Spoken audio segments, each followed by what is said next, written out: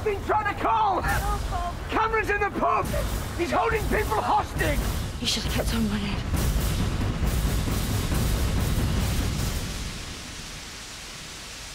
Emmerdale, next week on ITV.